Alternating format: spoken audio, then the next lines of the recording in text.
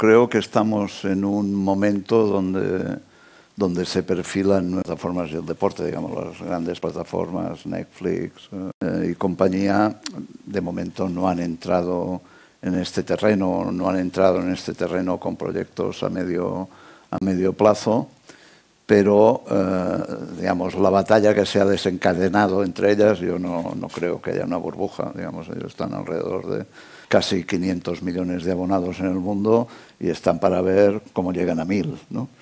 Eh, y sobre todo hay una gran lucha Disney, eh, Netflix, Amazon, pero como contenido para ofertar y conseguir una fidelización del abonado, no hay contenidos con esta fuerza. Venimos de una televisión de pago eh, tradicional, con abonados que pagaban con un ARPO importante, ¿no? que pagaban eh, bastante dinero, todo el tránsito hacia las OTTs, quiere decir que los precios bajan, que la fidelización es más difícil.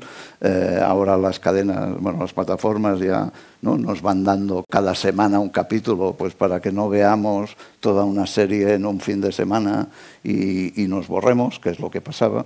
Bueno, pues ahí el deporte seguro que va a jugar un papel importante y por tanto tenemos que estar muy atentos a este desarrollo.